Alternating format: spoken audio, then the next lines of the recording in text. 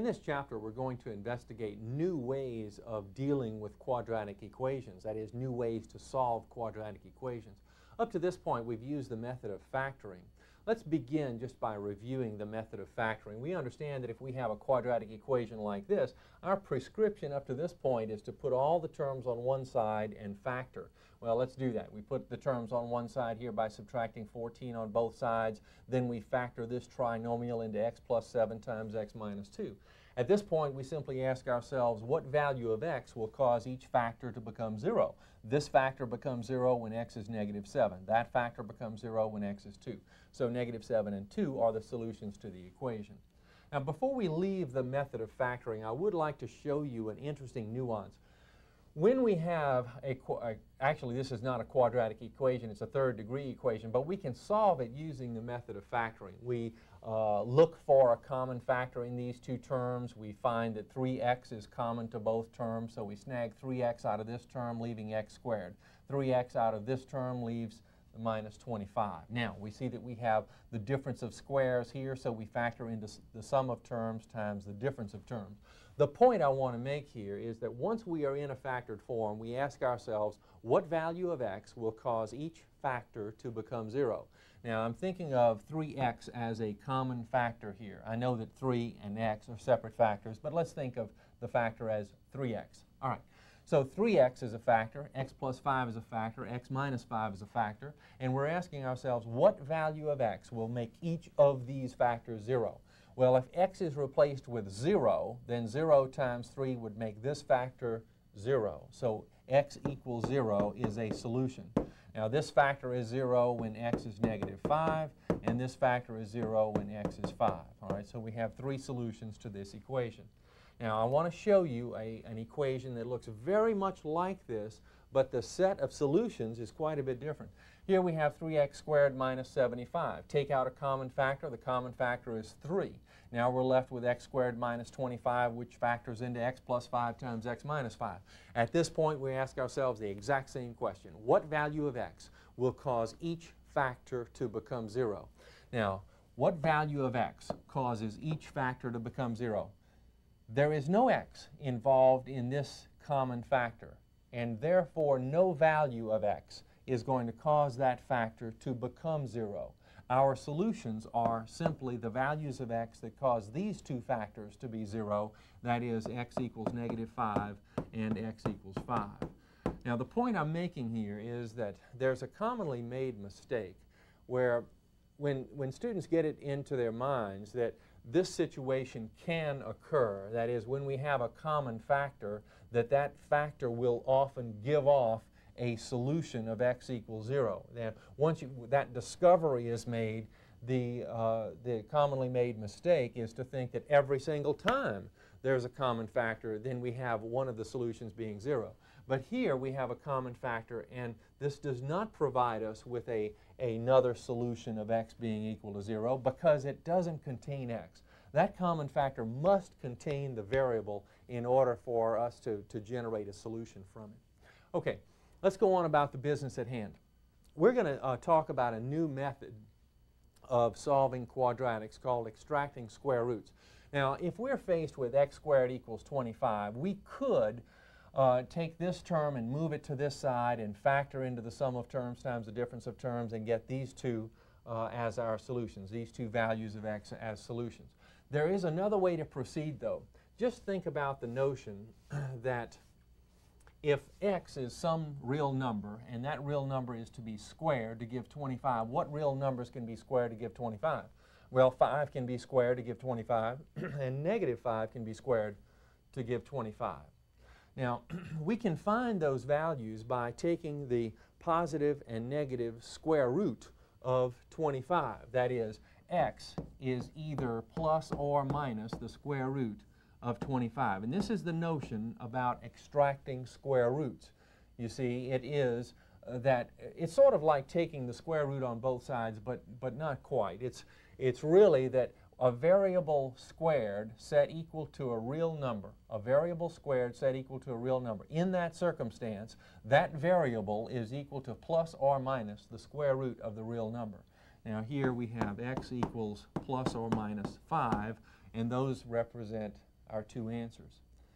So extracting square roots. Now this allows us to, uh, to solve quadratic equations that would otherwise be unfactorable. That is, now we saw a factoring method associated with this one, but look at this one. x squared equals 7. Now if we're going to use the factoring method on this one, we would kick the 7 to this side. We would have x squared minus 7 equals 0, and we would attempt to factor. But this is not the difference of squares. So by the methods that we understand, this is unfactorable, or at least it's very inconvenient to factor. So we'll resort to the method of solution uh, called extracting square roots. And it's the notion that we have a variable quantity squared set equal to a real number. So that variable quantity is plus or minus the square root of the real number. And that's all there is to it. And here are our two solutions. x is plus the square root of 7 or x is minus the square root of 7. And we can actually check to see if this is indeed, or these are indeed uh, valid solutions. You see, take the original equation, x squared equals 7, and replace x with the values we found for it. If x is plus or minus the square root of 7, when we square positive numbers, we get a positive result. When we square negative numbers, we get a positive result. All right, now squaring the square root of 7, the squaring uh, we'll undo the square rooting, and so we'll just get 7 on the left, and on the right we have 7. So we have truth and a valid solution. All right. In order to, uh, to solve by extracting square roots, the variable quantity which is squared should be isolated on one side of the equation. Here we have 2x squared equals 20. And the approach that we want to use is to, to isolate the x squared by dividing on both sides by 2. So we divide on both sides by 2. We find x squared to be 10. And x then, by extracting square roots, is plus or minus the square root of 10, our two solutions. Here again, we can use extracting square roots. Now, on the previous uh, examples, we were talking about x being squared.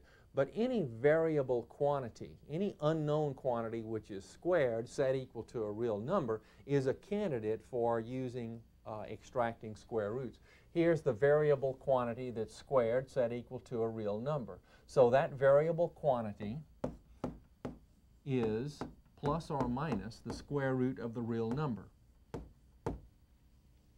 x minus 2 then is equal to plus or minus 5. x then, adding 2 on both sides, is 2 plus or minus 5. Now, this really represents two solutions. One of them is 2 plus 5, the other is 2 minus 5. So, here are the two solutions. 2 plus 5, 7. 2 minus 5, negative 3. So x is 7 or negative 3. These two uh, solve this equation. Let's verify them. If x is 7, we have 7 minus 2, that's 5. 5 squared is 25. 25 equals 25, truth. If x is negative 3, we have negative 3 minus 2, that's negative 5 squared, which is also 25. 25 equals 25, truth. So these are valid solutions.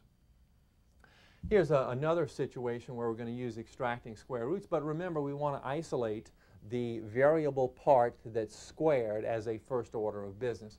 Here we would isolate that the binomial squared by dividing on both sides by 2. So we divide over here by 2 and we get the cancellation as expected, so we have x plus 3 squared. On the right, when we divide by 2, we get 7. Now, by extracting square roots, x plus 3 is plus or minus the square root of 7 and isolating the x because we want to make the equation tell us the solutions, you see. We'll subtract 3 on both sides to find x to be minus 3 plus or minus the square root of 7. And now it's inconvenient to try to collect minus 3 plus root 7 and then minus 3 minus root 7. So this really represents our two solutions. Do understand, though, that this representation means two things.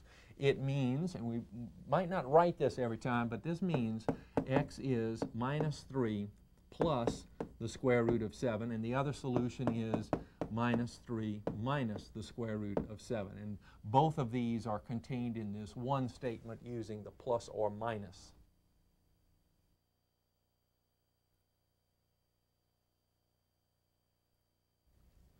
The method of solving quadratic equations uh, by extracting square roots is sometimes called using the square root property. So we may refer to it in one of those ways or another. But using the square root property or extracting square roots, you notice that the equation has to be in a very particular form. We have to have some uh, unknown quantity squared on one side of the equation and a real number on the other side. Well, equations, quadratic equations, don't often come to us delivered in this particular uh, kind of form. They often come to us in a more expanded kind of form. Now let's just take this equation and I'll, I'll work upward here and I'll expand this. x minus 3 squared is x squared minus 6x plus 9 equals 7. And then if I put all the terms on one side, if I subtract 7 on both sides, this becomes x squared minus 6x plus 2 equals 0. And this is a form that we are likely to see this kind of equation uh, written in. So there must be a way for us to be able to go from this step to that step, and certainly there is. And the way that we proceed here, and this method that I'm about to show you, is called completing the square because you notice what we're trying to do. We're going to create a situation from this trinomial to where we have a binomial squared, a binomial squared. Now, in order to factor a trinomial, this trinomial namely, in order to factor that into a binomial squared, this has to be, this is what is referred to as a trinomial square.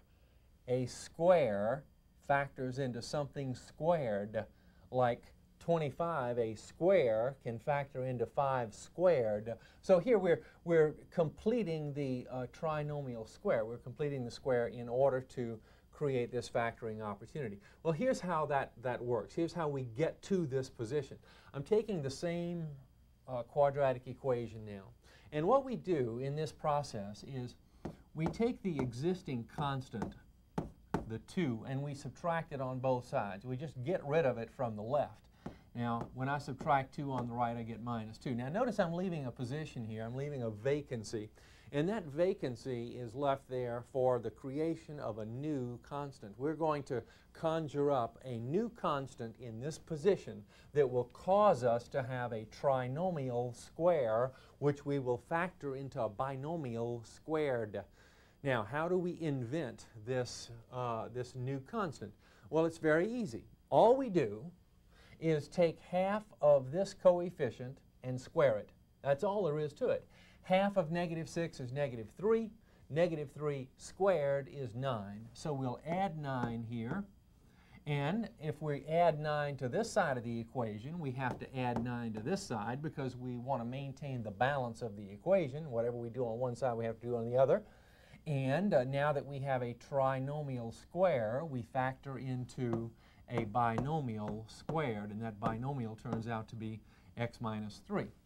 And on the right, we have uh, minus 2 plus 9 or 7. Now, by the way, this factorization, uh, you might verify this factorization for yourself. Just do it the long way at first. That is, factor into, let's see, x times x for x squared, and the last sign is uh, positive, so the signs are the same. The middle sign is negative, so minus times minus, factors of 9, oh, probably 3 times 3, verify the middle term.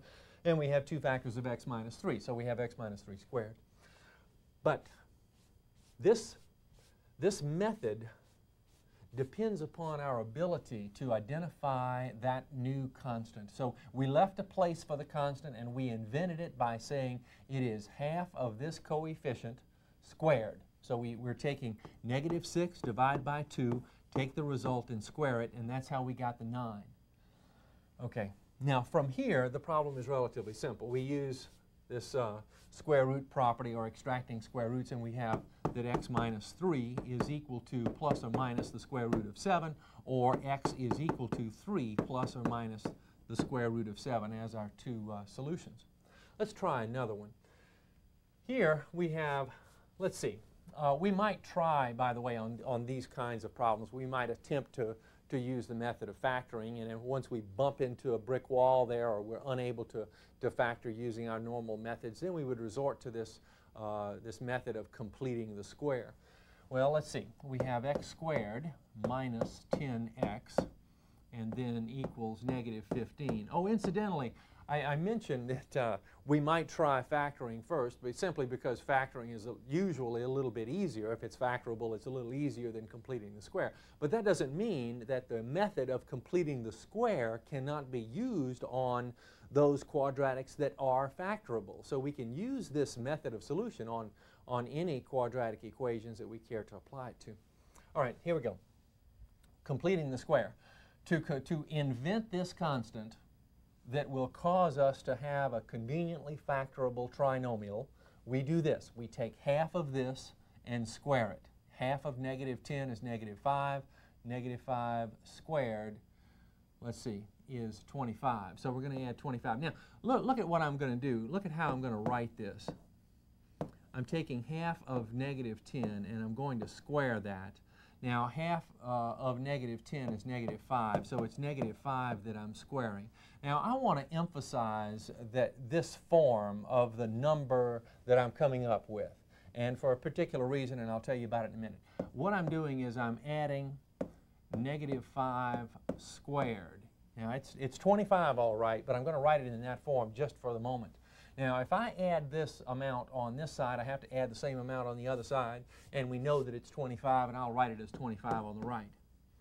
Now, here's what I want to show you that when I go through the factoring process here, rather than writing 25 right here and going through that factoring business, I can simply do this. I can identify the binomial here just by looking at the amount that I squared because that amount is going to go right here and the factoring is especially easy because I've identified specifically the amount that I squared.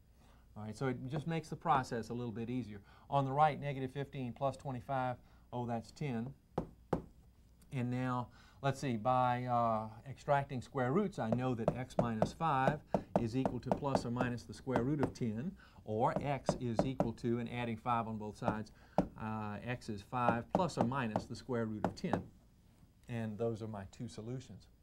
Now, you may be asking yourself, gee, what happens if this number that I'm taking half of is not an even number? Well, that's what happens in the next example. We have x squared minus 9x minus 5. All right, then we begin the process by taking the existing constant and kicking it out. That is, we add 5 on both sides. All right, now what I need to do is take half of negative 9. That is, I'm taking negative 9. I'm taking half of it, and I'm going to square that amount. All right, now that's what I'm going to add on both sides. All right, I will leave it in this form on the, the left side. So I'm adding, let's see, negative 9 halves squared. And, well, that's a little bit tight. Let me, make, let me clean that up a little bit. I'm adding negative 9 halves squared on both sides. On the right I had 5. Now I'm going to add, what am I really adding? Squaring the negative gives us a positive result. And squaring 9 halves is 81 fourths. 81 fourths. So I'm adding 81 fourths really on both sides. It's just a different way of writing it on these two sides. All right, let's see. The factoring over here is especially easy. It is simply x, and then what amount did I square? Well, I squared minus 9 halves. So I write minus 9 halves squared equals, now on the right I have some collecting to do. I want to bring these two terms together and here we have a fraction and I'd like to think of 5 as 5 over 1. So the common denominator then is 4. I'm going to multiply here by 4 over 4. So I'll get 20 over 4 plus 81 over 4. Hmm, let's bring those together in the next step. I have x minus 9 halves squared equals 20 and 81. That's 101 over 4. All right, now I'm ready to, uh, to solve this, and I know by the square root property or by extracting square roots, I've got uh, x minus 9 halves equal to plus or minus the square root of 101 over 4. Or x is, and I'm adding 9 halves on both sides, x is 9 halves plus or minus. Now, think about the square root symbol applying to numerator and denominator. You see, that uh, I, I want to think about it like that because I can't leave a radical in a denominator. If I have a radical in a denominator, I have to rationalize. So let's see, the square root of 101 stays in the numerator and the square root of 4 would be 2 in the denominator. Now here's our, our, here are our answers. Another way to write this though, since we have a common denominator here, we could write this as 9 plus or minus the square root of 101 for the numerator and the denominator is that common denominator too. So here's a nice concise way of writing those two answers. Well here's another variation on the same theme.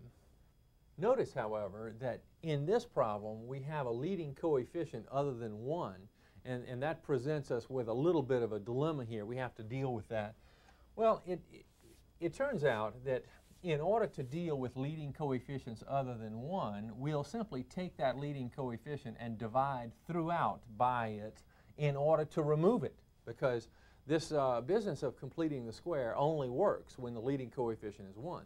So we'll march through as a, as a first step. We'll just take every term and divide by that leading coefficient and it'll get rid of it right quick for us.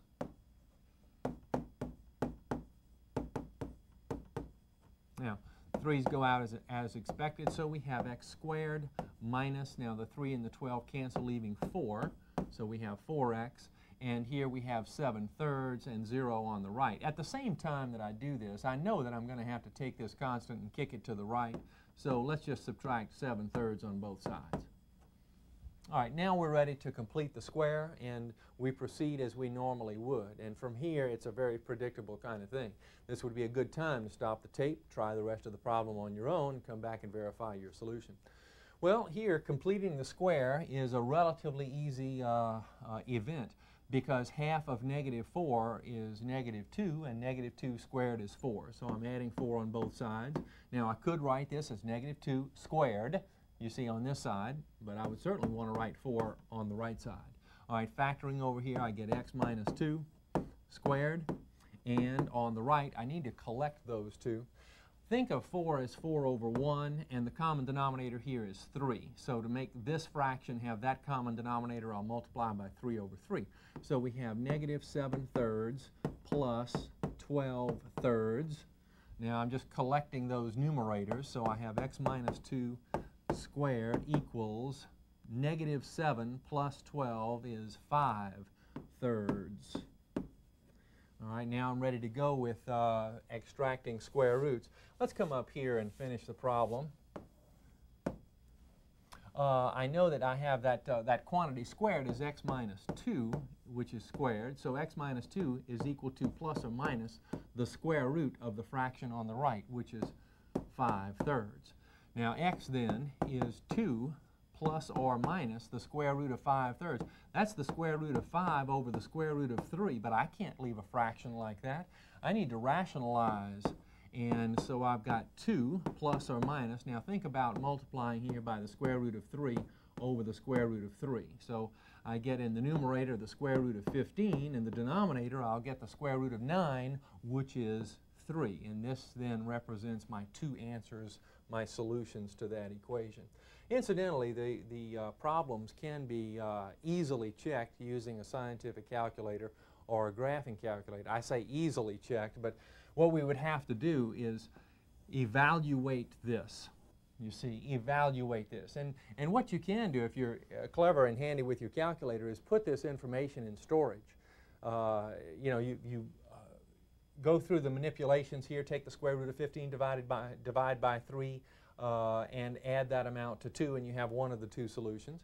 And uh, uh, store that. Now, in the, the graphing, on the graphing calculator, when you press store, the store button, you'll get a little arrow indicator, and, and it's really asking you, how do you want to store this? What do you want to store it as? Just store it as x, you see. So uh, press, this will be on display, and then press store, and then x, and then enter.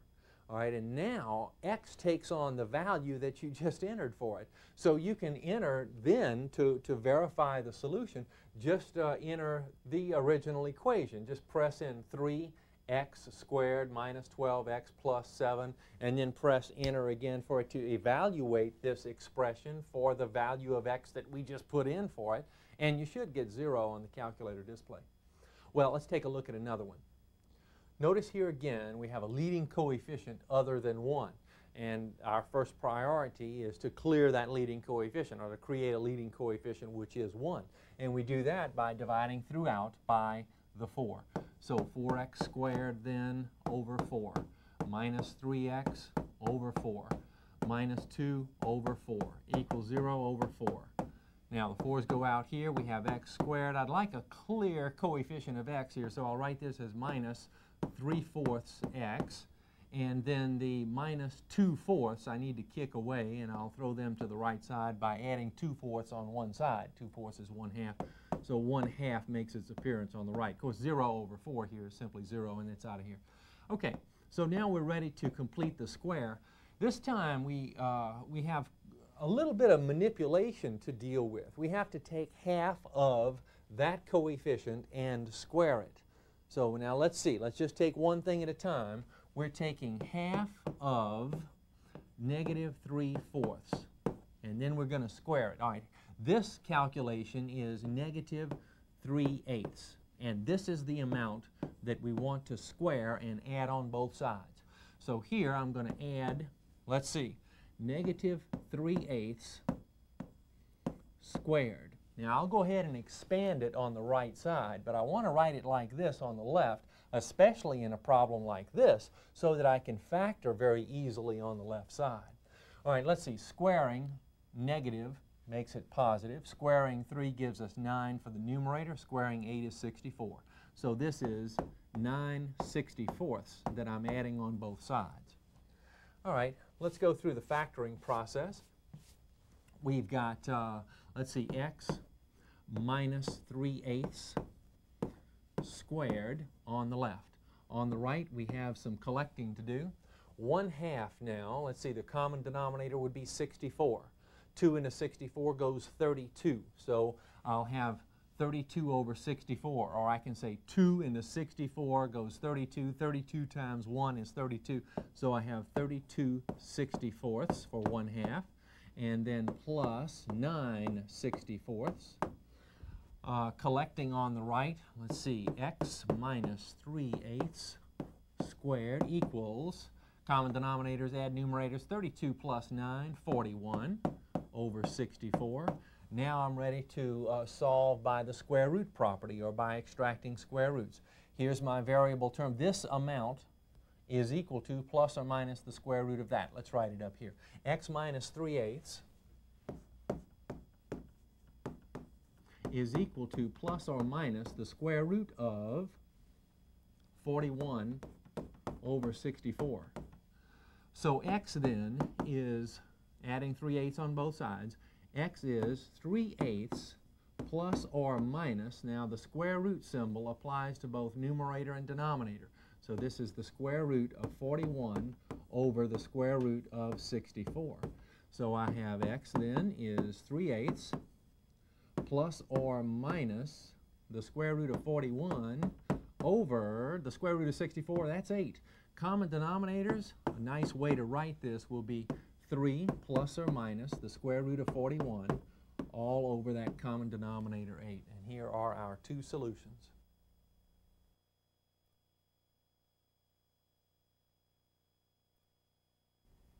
So far in this chapter we have examined several methods for solving quadratic equations. We've looked at the method of factoring, we've talked about extracting square roots, we've examined completing the square. Now we're going to go into a fourth method in this chapter called the quadratic formula, but there is another method for solving that we examined in a previous chapter, and that was a method of graphing. Now the method of uh, uh, the, the quadratic formula comes from the completing the square. You see, uh, a quadratic equation can be written in a general form like this. ax squared plus bx plus c equals 0 where A, B, and C are real numbers. And just using those variable quantities A, B, and C, we can apply the method of completing the square to this and uh, develop the quadratic formula. Here's what it looks like. To derive the quadratic formula, we begin with the general form of the quadratic equation. Now we're going to apply the method of completing the square Our first thought is perhaps to uh, change out our, our constant term. That is, let's get rid of the constant term on the left side of our equation. We'll subtract c on both sides. Now the method of completing the square only works when the leading coefficient is 1. So to clear that leading coefficient of a, we'll divide throughout by a. Now we get the cancellation as expected in our first term, so we'll bring down the x squared. Now, bx over a we'll write as b over a times x to show the distinct uh, coefficient of the x. And the negative c over a we'll think of as negative c over a. Now we're ready to complete the square. Now, remember what our prescription was.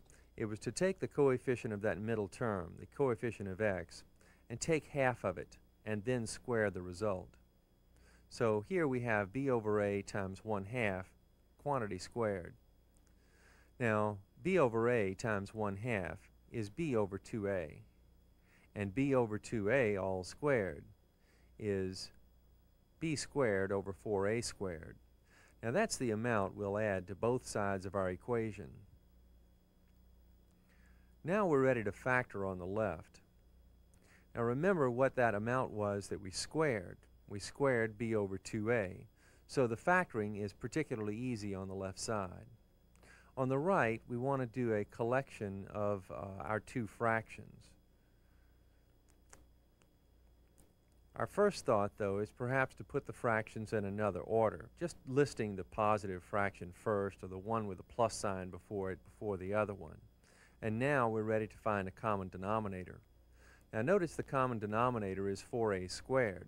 So we'll multiply in the second fraction by 4a over 4a. This will give us 4ac over 4a squared. Now we can bring the two fractions together. So we have b squared minus 4ac over 4a squared. Now notice that we can uh, apply extracting square roots to our problem to write x plus b over 2a on the left side and that'll be equal to the plus or minus the square root of that right side fraction. Now we know we can think of the square root of the numerator separate from the square root of the denominator, so we think of the problem like this.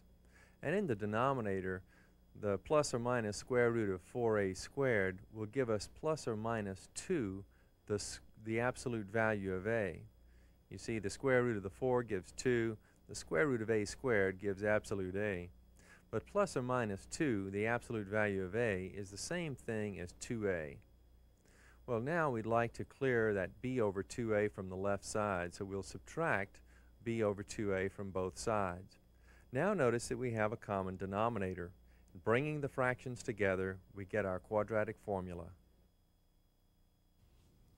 To use the quadratic formula, first write the quadratic equation in general form.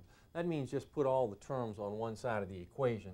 Here we would subtract 14 on both sides and write x squared plus 5x minus 14 equals 0. Now it's real easy to identify the components, the parts within the quadratic formula, the a, b, and c involved. Now the next thing we'll do is write down the formula x equals negative b plus or minus the square root of b squared minus 4ac all over 2a. It's important to commit this to memory. In the next step, we replace letters with numbers. And that's all that we want to do. We don't want to go uh, performing operations in this next step. The first two steps are predetermined in this uh, situation, in this process. First step, write the formula. In the next step, replace letters with numbers. All right, now the letters A, B, and C correspond with uh, the coefficient of x squared, that's the A value. The B value is 5 in this case, and negative 14 for C. So minus B or negative B means negative 5. Plus or minus the square root of B squared means 5 squared. Minus 4 times A is understood 1 times C is negative 14 all over 2a, which is 2 times 1. So, cleaning up or performing indicated operations, we have minus 5, plus or minus. The square root of 5 squared is 25. Uh, minus 4, or negative 4 times negative 14, would be plus 56 all over 2 times 1, 2. Simplifying under the radical, we have, let's see, 25 and 56, that's 81 all over 2. Now the square root of 81 is 9, so we have minus 5 plus or minus 9 over 2. And this gives us our two answers involved in this, in this problem. It's minus 5 plus 9 over 2 and minus 5 minus 9 over 2. So let's simplify here. One of them would be uh, negative 5 plus 9 in the numerator would be 4. 4 over 2 would be 2. So x equals 2 is one answer. The other answer uh, is minus 5 minus 9. That would be negative 14 over 2, which is negative 7. So x is equal to negative 7. Now, I mentioned a few moments ago that uh, quadratic equations can be solved by a number of methods. One of the methods we, I spoke of or referred to is the method of graphing, which we looked at in a previous chapter. Let's refresh our memory about that uh, process using this equation. Now one thing we have to do to set this up for graphing is we need to, to write this in a, in a form of y equals uh, some expression. And we do that by simply taking the zero involved in our equation and replacing it with y. So this is x squared plus 5x. This is the way we think about it for entry into the graphing calculator. So we let 0 be replaced with y. So it's y equals, and then we'll enter that expression. Now what we're looking for graphically, just to refresh your memory, is the, uh, the x-intercepts, the places where the graph crosses the x-axis. Those are the solutions to the equation. And no wonder, the x-intercepts are the places on the graph where y is equal to 0. You see, it's the spot where y becomes zero graphically. And no wonder then uh, it solves the, or that idea solves this equation. Well, let's have a look at the graph. The equation has already been entered, and on standard settings, the graph looks like this. As uh, we have seen so many times in the past, when we press uh, trace using standard settings, uh, we find it a little difficult to locate uh, x-intercepts. So what we'll want to do is uh, create friendly settings by going to zoom and then number 4 for z decimal. But unfortunately, we can't see very much of our graph. We can press trace and we can trace over to that uh, intersection point rather easily, but we still can't see a great deal of the graph. Let's uh, look at uh, the lower part of the graph by pressing window and uh, just dropping our, our view down a little bit with y minimum. Let's make it negative 22. And then the graph looks like this. Now pressing trace allows us to see our icon move as we trace to the right and we can verify one solution as the x-intercept here at x equals 2. The other solution is over to the left. Now we could uh, change the window settings, but I'd like to show you another way to proceed here. I'm just cursoring over by uh, pressing the left arrow button and leaving it depressed, and I'm all the way over here to the left of the screen. Look at what happens when I press the left arrow button again. The, uh, the viewing window automatically moves over for me, and as I get near the edge of the window, it'll continue to move over this is a rather nice feature to allow me to, to get to the other point of intersection without actually having to change window settings. And here I'm just verifying the solution that we uh, talked about earlier algebraically as negative 7. The other one was at 2, remember. This quadratic equation is already in the general form, so we'll write down the formula. Now notice this time the variable is a, so the formula takes on a little bit different form. We're solving for a, so instead of x equals, you see it'll be a that we're looking for is equal to negative b plus or minus the square root of b squared minus 4ac all over 2a. Now, a then is negative, b is 5, plus or minus the square root of b squared means 5 squared minus 4 times a is 1 times c is 2 and all of this is over 2 times 1. All right, cleaning up, performing indicated operations, we have negative 5 plus or minus the square root of 5 squared is 25 uh, minus 4 times 2, that'd be minus 8 all over 2. a then is minus 5 plus or minus the square root of 17 all over 2. Now this is about as far as we can go with this problem because we can't uh, take the square root of a non-square evenly. So we'll leave our answer in this form. Now it would be possible to use a calculator to uh, develop or, or calculate an approximation for the solutions to this problem. It's pretty easy to enter the square root of 17 and find that amount and then subtract 5 and divide that amount by 2 and then take the negative of 17 for the other, uh, the negative of the square root of 17 for the other value, uh, subtract 5 and uh, divide by 2. So we could get a, an approximation rather easily, but we'll leave it in this, in this form algebraically. Consider this next problem. Oh, by the way, the, the answers in that problem were, uh, would be irrational because we can't take the square root of 17 evenly, so we get a couple of irrational answers. In this one, uh, again, we are in the general form, so uh, let's see.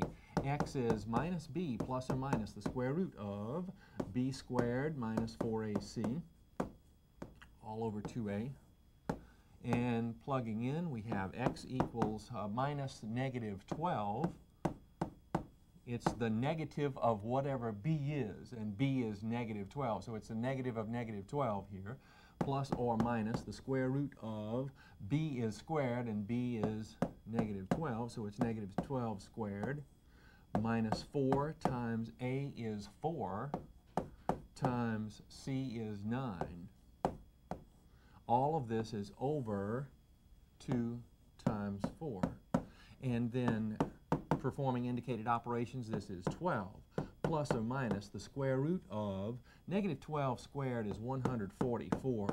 The product of negative 4, 4, and 9 would be negative 144. So minus 144. All of this is over 8. And x then is 12 plus or minus the square root of 0 over 8. But the square root of 0 is 0, so this simply becomes 12 eighths, which becomes reducing 3 over 2, or 1 and 1 half. Now, the problems that we looked at before had two solutions.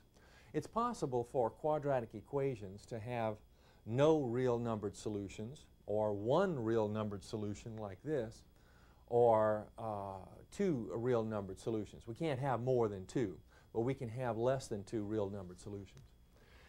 In this next one, z is the variable, so we'll write the formula as z equals minus b plus or minus the square root of b squared minus 4ac. All of this is over 2a. z then is, let's see, minus b means minus negative 4 plus or minus the square root of b squared means negative 4 squared minus 4 times a is 3 times c is 2 all over 2a means 2 times 3. All right, so z then is 4 plus or minus the square root of negative 4 squared is 16.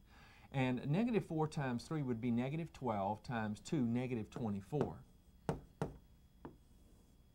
2 times 3, 6 for the denominator. Now, performing indicated operations under the radical, we have the square root of 16 minus 24 is negative 8. And all of this is over 6. Now, we've said before that uh, this does not represent a real number. The square root of a negative number is not a real number. So here we have no real numbered solution. That doesn't mean that there's no mathematical solution here. In a, in a future algebra course, you're going to talk about sets of numbers that go beyond the set of real numbers. But for our purposes here, we simply say that we have no real numbered solution at this point. Now, we have done a, a, number of problems here, and there's something I'd like to point out to you, and that is that the, the type of answer, the, the set of numbers that the answer is within, the smallest set of numbers that the answer is within, can be identified easily by looking at the value under the radical. Now this value under the radical, the b squared minus 4ac, tells us what kind of answer we're going to get for the solutions to our uh, quadratic equation. And for that reason, that b squared minus 4ac is sometimes called the discriminant, the discriminant, because it calls attention to the difference between the kinds of answers that we get. Now let's go back and examine the kinds of answers that we got in these problems. You see here, if the discriminant is a negative number, if the discriminant is negative, then we get no real numbered solutions. And then in the previous problem, we found that the discriminant turns out to be zero. Now, the, remember, the discriminant is the number under the radical, the b squared minus 4ac part. That's the discriminant. The discriminant was zero here, and in that circumstance, the answer turned out to be, well, remember now, this is negative b. You see, it's negative b over 2a. And, and that number will end up being a rational number in all cases as long as uh, these uh, coefficients and the constant are real numbers. And this rascal is going to be rational when the discriminant is zero. So if we wanted to, you see in a problem that uh, is a quadratic equation, we could just evaluate b squared minus 4ac and calculate the kind of answer we're going to get. Let's look at the other kinds that we got here.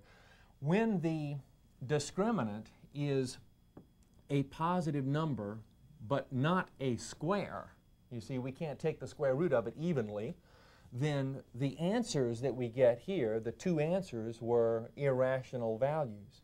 If that uh, number under the, the radical, the discriminant, is a positive square, then we can take the square root of that square evenly and our answers turn out to be rational. Here they actually turned out to be integers, but at, at worst they would end up being rational if we were unable to uh, resolve this or reduce the fraction into integers. So the idea is that the discriminant can tell us whether we get rational, two rational answers, as in this case, one rational answer if the discriminant turns out to be zero, or if the discriminant turns out to be a positive non-square, then the answers turn out to be we get two irrational answers. And if the discriminant is a negative number, whether it's a square or not, it doesn't matter. If the number is negative, then the answers are not real numbers. Since we have a number of options at our disposal for dealing with quadratic equations, it might be important for us to just talk about what option we might select if we have a choice. Often a problem set will say solve this by this set by completing the square, solve that one by factoring, and solve by using the formula. Well, what if we have the option? You see, how do we make a decision? Well, look at this equation. Sometimes the, the decision uh, uh, can be made rather easily. Sometimes it's a little difficult. Here it's rather easy. What I notice about this, and what I'd like you to notice, is there is no first degree variable term, no first degree term here. And when there's no first degree term, your, your option is to use the, the, uh, the extracting square roots method. And that, that's an awfully good option to take. Now this particular problem, because this term is a square and that term is a square and this is the difference of squares, we could rather easily factor here. But uh, fundamentally, all of those quadratic equations that are in uh, standard form like this or general form like this without the first degree term can be solved by extracting square roots. Here's what I'm talking about. We'll take the constant and throw it to the other side adding 49 on both sides, we'll get this. And then I'd like to isolate the variable, which is squared, so I'll divide on both sides by 4, and we'll have u squared then is 49 over 4.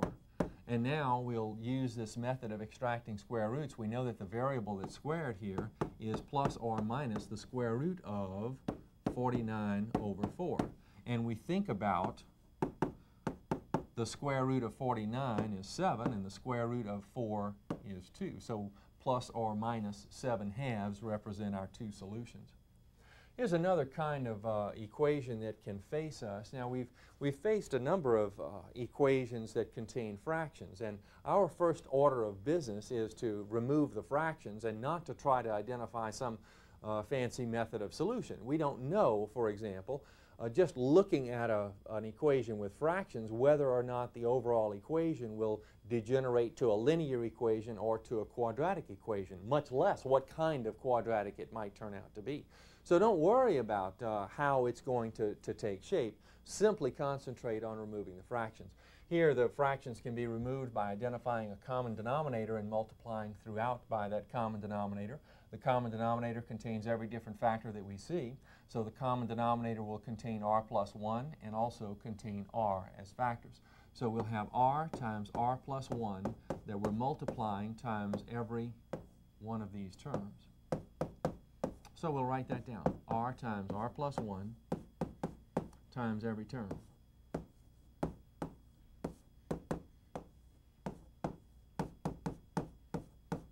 Now, back over here, we can see the cancellation of the r plus 1s. 2 times r is 2r. Whoops, 2r. And uh, here the r's cancel and we have 2 times r plus 1, which is 2r plus 2.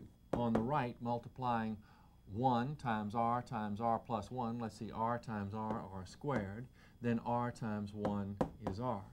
At this point, we can identify the type of equation that we're facing. And we see that we have a, a second degree term, and so we know it's a quadratic equation. Let's put the equation into uh, a, a general form, and then maybe we'll examine it a little bit and determine what method we want to use for solution.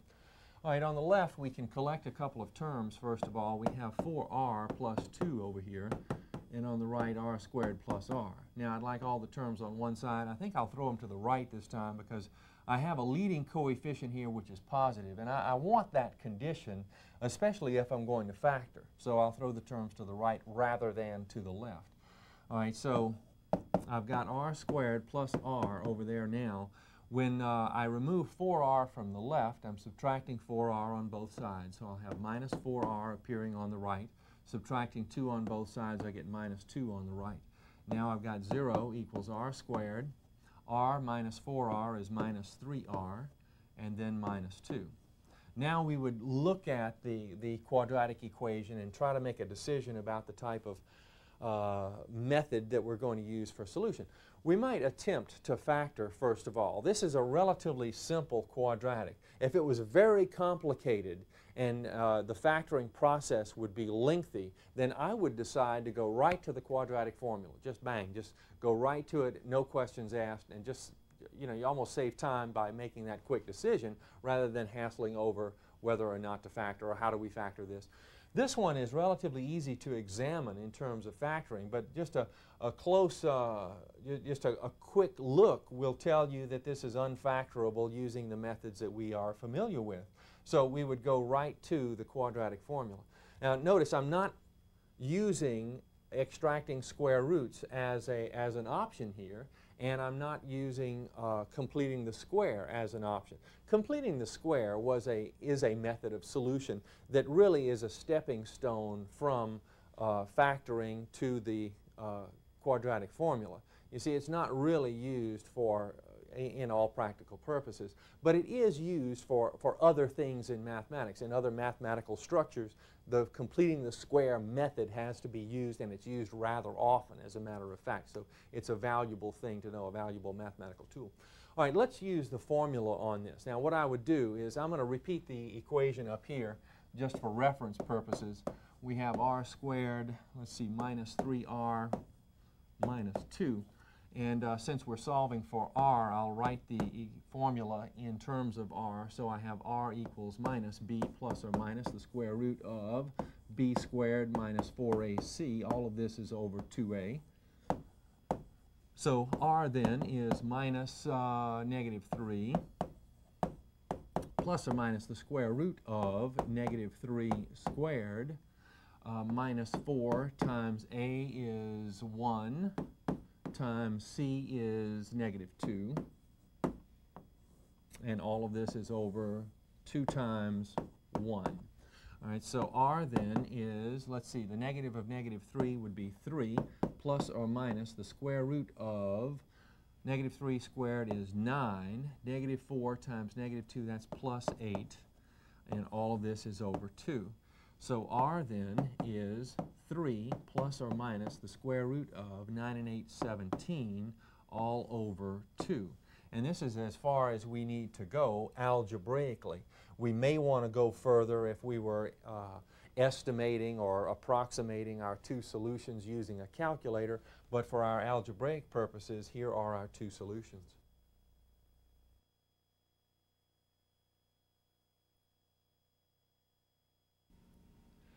Let's investigate aspects of the graph of this equation using the graphing calculator. The one thing we might notice here while we look at the equation is that the leading coefficient is positive and therefore the graph will open up. But we really don't know where our x-intercepts are, even if we have any at this point. But uh, so let's put it onto the graphing calculator.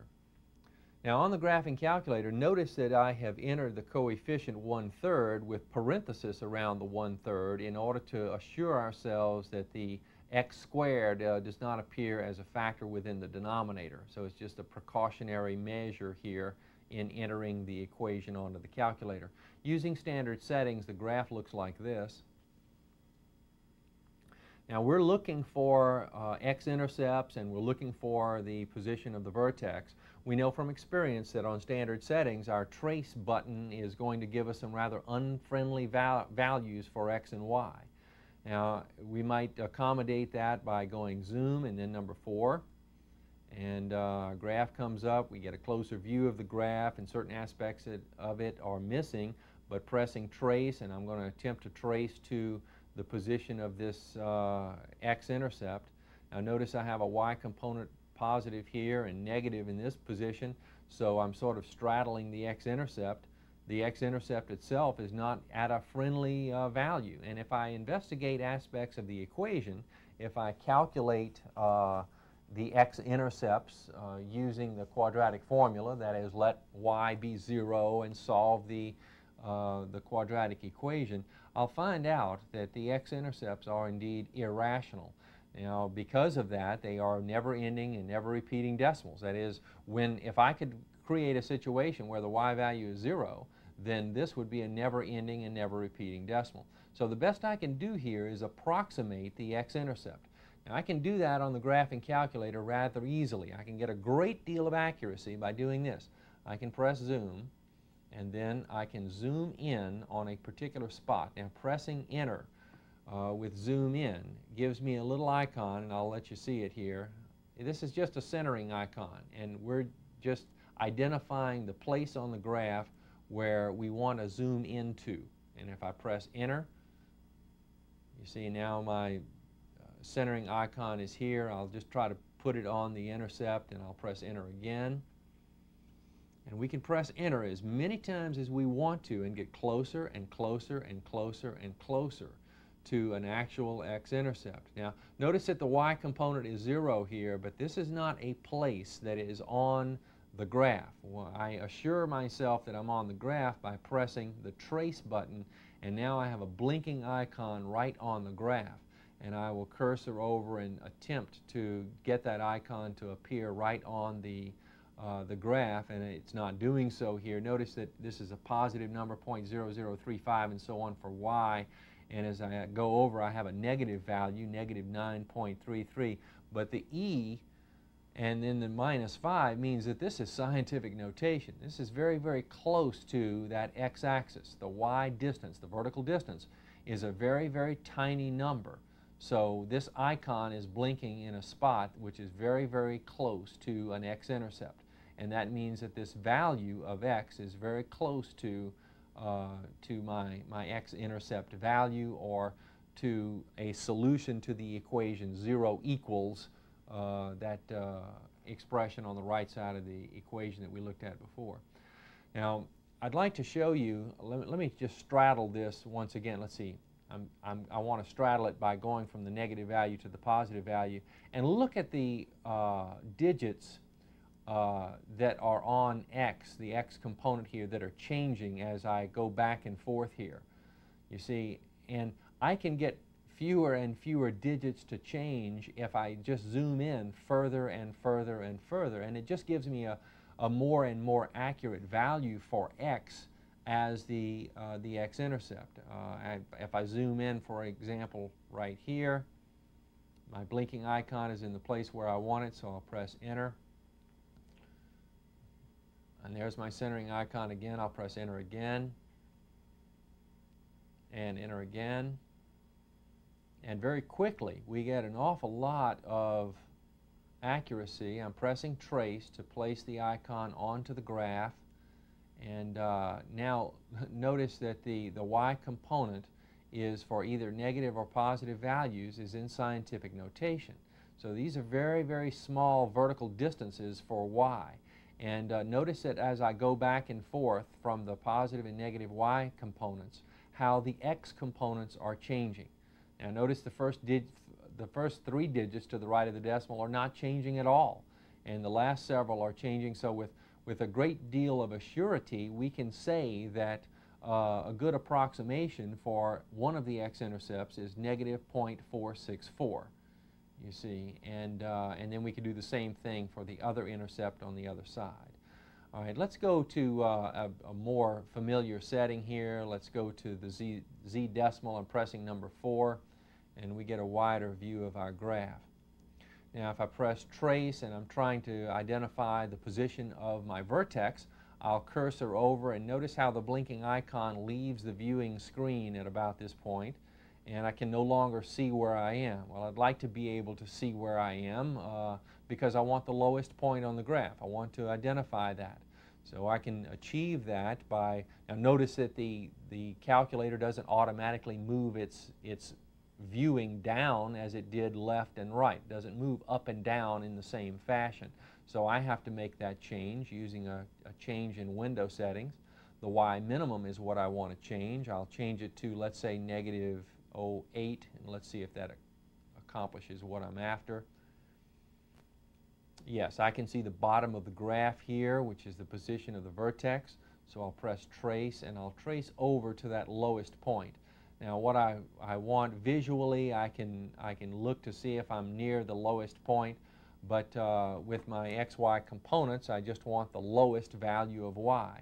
And as I cursor over, I see that it's at negative 4. So the x component 3 and the y component uh, negative 4 give me the position of the vertex. I could have verified this another way, as you know. Algebraically, I could have used the equation and I could have evaluated negative b over 2a for the x component and then figured out what y needs to be right, let me show you something else uh, that is of value with uh, investigating uh, equations and graphs and so forth. Let's go back to uh, a standard setting here, number six. And uh, the graph has this behavior. And now press y equals. And I'd like to make a change in our equation and try to notice the resulting change in the graph. If I use the same coefficient here, this 1 third in parenthesis, close parenthesis. Now I want x squared minus 2x. And now this time I'll put in minus, oh, let's say 5. And now I'd just like to see how changing the uh, constant will change the graphs. So pressing graph. Here's the, the graph of the first equation, and here's the graph of the second equation. Oh, changing the constant simply moved that second graph down a little bit on the coordinate plane. This uh, second graph has the same shape. You see, it's, it has the same sort of fatness that the first one had, but it just moved it down a little bit on the coordinate plane. So investigations like this can take place very quickly uh, by using the graphing calculator. And that's one of the great advantages of using the graphing calculator in this investigative process. A lot of times if you investigate this enough, you'll learn uh, just by looking at equations as to how the, the graphs are going to behave. Now I'm taking this one offline and I'm going to enter another one here, another equation, but it's going to be very similar to the first one. Let's, uh, let's write in, let's change the leading coefficient to 2 this time and write x squared and then minus 2x and then minus 1 and see what kind of changes we get. All right, here's our original graph and uh, now this graph, oh, well we, we moved uh, the, the graphs, let's see, the second graph moved left and right, it moved a little bit up and down it appears, but uh, most significantly it, it changed its shape a great deal. It became a lot thinner here than the original graph. And that fundamentally is the, is the major change that occurs when we change the leading coefficient. And we make that kind of investigation just by changing the equation and observing the graph. So and this is something that you can do on your own, and we'll make a real study of this as we get to uh, the next algebra course and then, uh, and then into college algebra.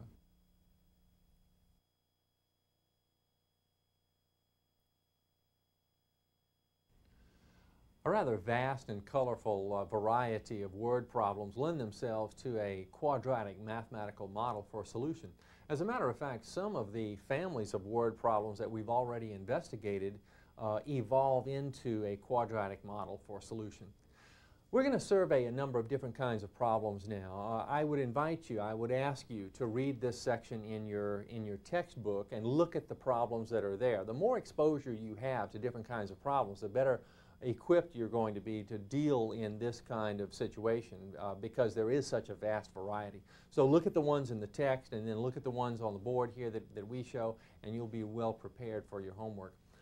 All right, this one says the sum of the squares of two consecutive integers is 481. Find the integers. The sum of the squares of two consecutive integers. Well, if we let x equal the first integer then the next consecutive integer, the integer right after that one, would be x plus 1. So that's going to be the second integer. And it says the sum of the squares of these integers is 481. So to build a mathematical model, it's the, the square of this one plus the square of that one is equal to 481. So it's going to be x squared plus x plus 1 squared equals 481. Now, uh, I failed to mention it earlier, but uh, I want to tell you that this is a great time to try the problem on your own and come back and look at the solution uh, that we're going to provide. But just setting up this part of the problem is a, is a big part of going toward that solution. And of course, setting up the mathematical model is too. Well, let's see. We're, uh, we're squaring the x plus 1, so we'll get, let's see, x squared plus we'll get x squared plus 2x plus 1 equals 481. Now we see that we have a quadratic uh, equation, so we'll put all the terms on one side. x squared and x squared would be 2x squared. And uh, then plus 2x plus 1 equals 481. I want to subtract 481 on both sides. So I'll have uh, 2x squared plus 2x then uh, subtract 481 over here. We have minus 481 plus 1. That's minus 480 equals 0. And now let's come up over here. Uh, I'm going to just repeat this step. So we have 2x squared plus 2x minus 480 equals 0. Factoring a 2 out of all three terms, we have 2 times x squared plus x minus 240 equals 0. Now, to factor here, think about this. We're far enough along to where we can do this. x times x gives x squared. The last sign is negative, so we have plus times minus. And we know that this product is going to be 240. We also know that we're collecting the, uh, these two terms, that is something x minus something x to give 1x. That simply means that the numbers that belong in these positions differ by 1 only. So we want two numbers that when multiplied give 240, but whose difference is going to be exactly 1. Now, uh, we might investigate for, for those two numbers there. We know they're integers because we're looking for integers here in this problem. And if we know they're integers, we know we can factor uh, this quadratic form. So investigate it uh, kind of like this. I mean, we could use trial and error, but just look into your calculator and uh, how do you think about how you request uh, a number times itself to be 240. You see, exactly. A number times itself to be 240, well, that's the square root. That's all the square root means. So take the square root of 240, and you'll find it's a number between 15 and 16. It's 15 point something, something, something. Okay, the numbers are 15 and 16, you see. And so we can very quickly uh, use that kind of analogy. That's the value of of mathematics in a, in, a, in a true sense, that you get a pretty good feeling for situations like this, and then you apply uh, something in mathematics. It's not something that you memorize or something like that a lot of times. Well, let's see, it's uh, 15 times 16. I'll put the 16 here, the 15 here, and away we go. The value of x, it causes each factor to become 0. The, no x is in here, so this doesn't contribute to the list of uh, solutions. Uh, this uh, factor becomes 0 when x itself is negative 16. This factor becomes 0 when x is 15. Now, these are values of x. We were asked to find the, uh, the two integers. Let's see, we want the sum of the squares of two consecutive integers is 481. Find the integers. What are these consecutive integers? Well, let's see. One of them could be negative 16. One of them could be 15. Now, it turns out that we actually have two sets of consecutive integers that solve this dilemma. Uh, and that is that if x is negative 16, then x plus 1 means negative 16 plus 1 or negative 15. On the other hand, if x is 15, then x plus 1 is 16.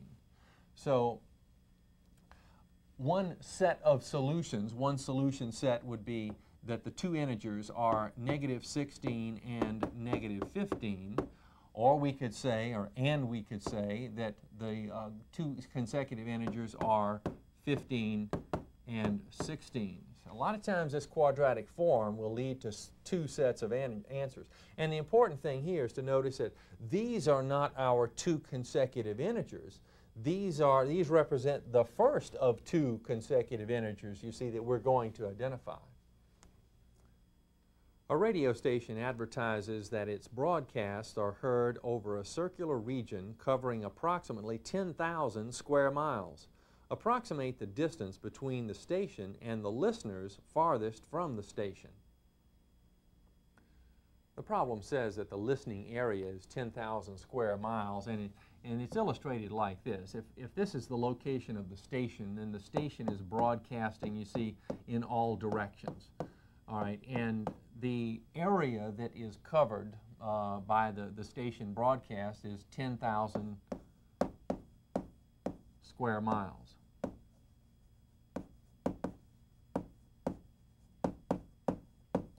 Okay, and that's all of this area within this circle. Now, if we're going to calculate the, uh, the distance to the farthest listeners, then what we want is the distance to the folks that are right out here on the edge of the listening uh, area at the edge of this circle. So we're really trying to calculate the radius of this circle. So we use the formula for the area of a circle. Area is pi times radius squared, and we just put information into, the, uh, into that formula. Now notice that the mathematical model here is a formula. We didn't have to conjure up some kind of quadratic relationship. It's built into the nature of this kind of problem. So, all right, we have an area of 10,000. Pi, we know, is a constant, and uh, we just bring down r squared. Dividing by pi on both sides. Divide by pi over here, and we get a cancellation. Divide by pi over here, and we have this fraction. Now, we can use this uh, square root uh, property, or extracting square roots, to find that r is the square root of that number. Now, actually, r is plus or minus the square root of that fraction, but we know that we're looking for a distance, and by the nature of this problem, we're looking for a positive value. So we can eliminate this or minus part of the problem. So it's, a, it's the positive uh, square root here that we're looking for. And the approximation for the uh, square root of that fraction is 56.4, and since we're talking about an area here of square miles, the radius is going to be in some number of miles. So it's approximately 56.4 or 4 tenths miles. A model rocket is projected upward from ground level according to the height equation h is equal to negative 16t squared plus 192t, where h is the height in feet and t is the time in seconds. After how many seconds will the height be 432 feet? Well, here, of course, we're given a height, and so we'll replace h in our equation with 432. Now to begin the solution, we'll subtract 432 on both sides to have all terms on one side of our quadratic equation. Now, of course, our prescription is to factor. We see a common factor of, of 16, and actually we'll take out that entire leading coefficient of negative 16. When we factor the negative 16, we get t squared minus 12t plus 27.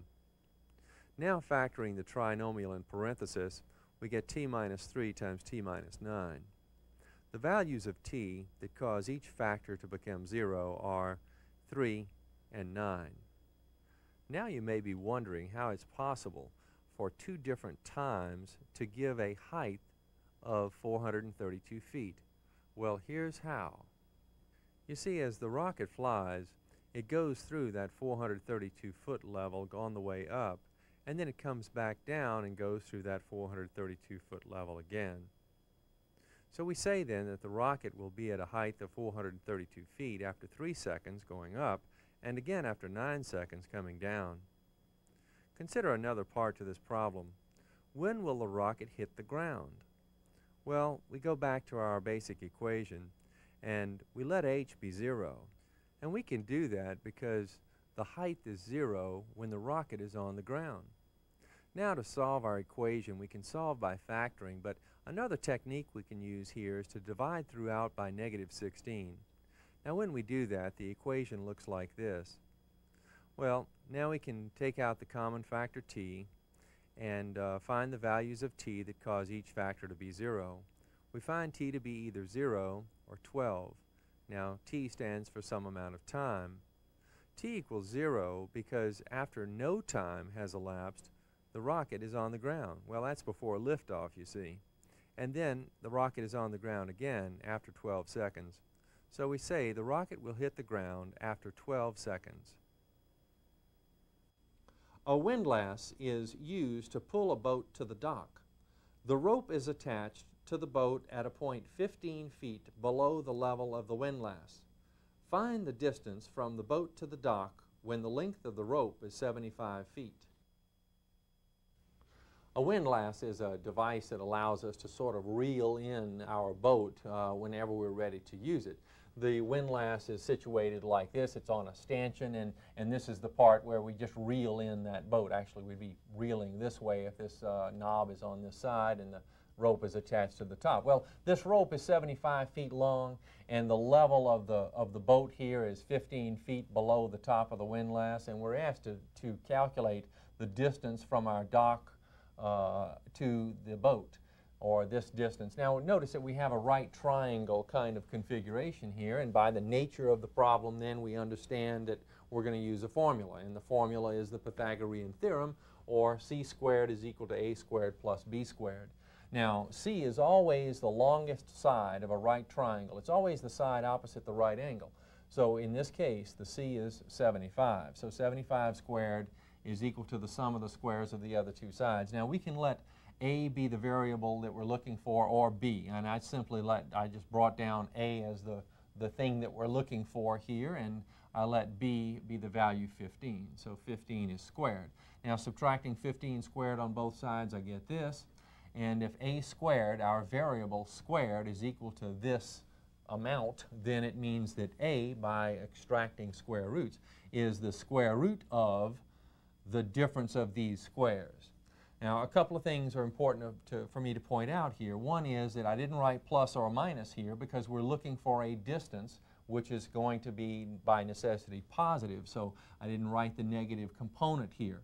And also I want to point out that this idea of square rooting is not distributive. And that's why I wrote the 75 squared minus 15 squared in this form. This is not simply 75 minus 15.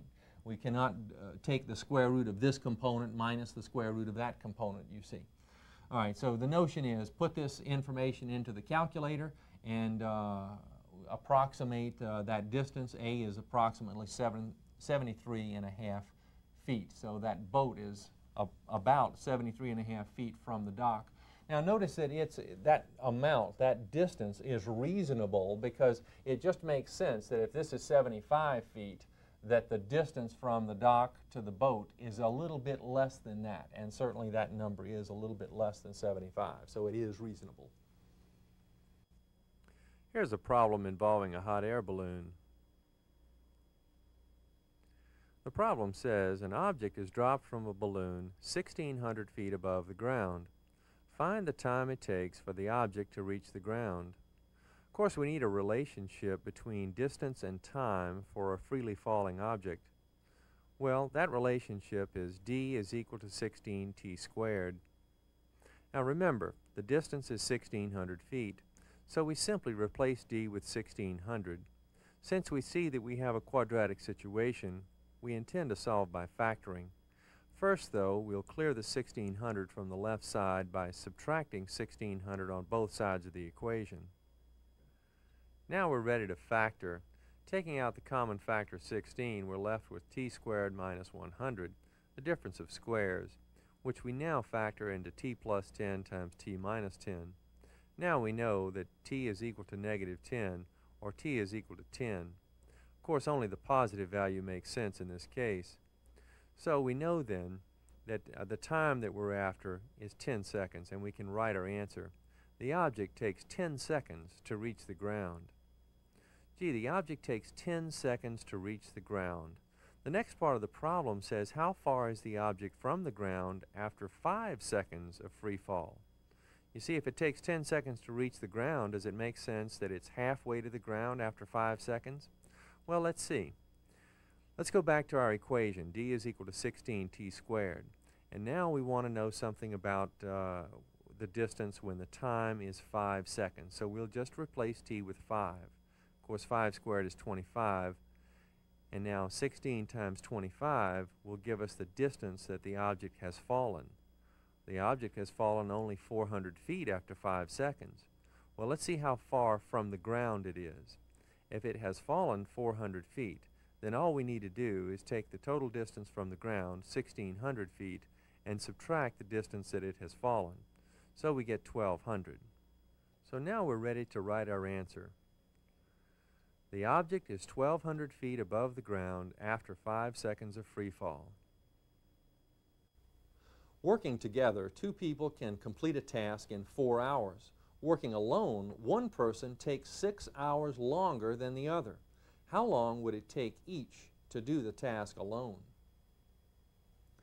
Let's organize what we know. We know that the time it takes the two people working together is four hours, and we need to represent the time that it takes each of the two people. Let's also give them names. I've named these two individuals Joe and Jim. Now, if we let X be Joe's time, that is the time that Joe is required to do this job, and the other person takes six hours longer, then Jim's time required to do the job is X plus six.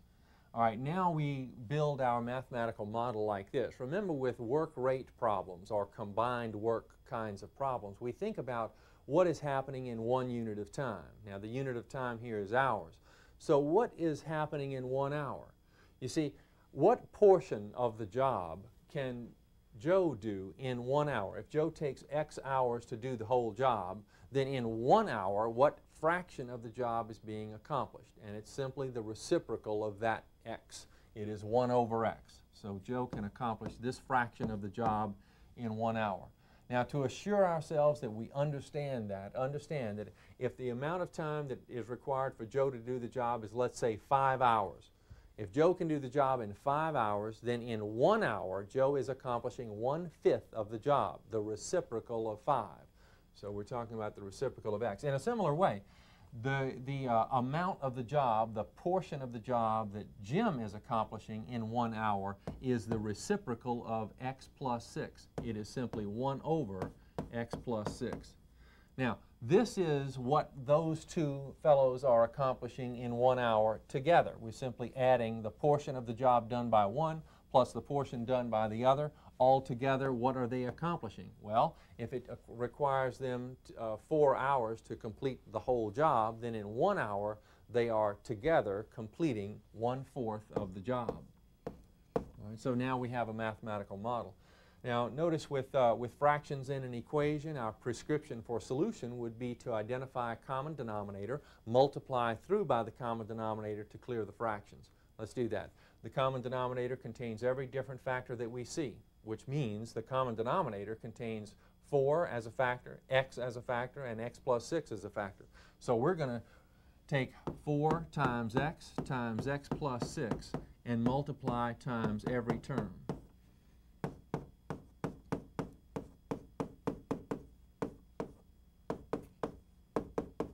Oops, x plus 6, my bad. Stand by.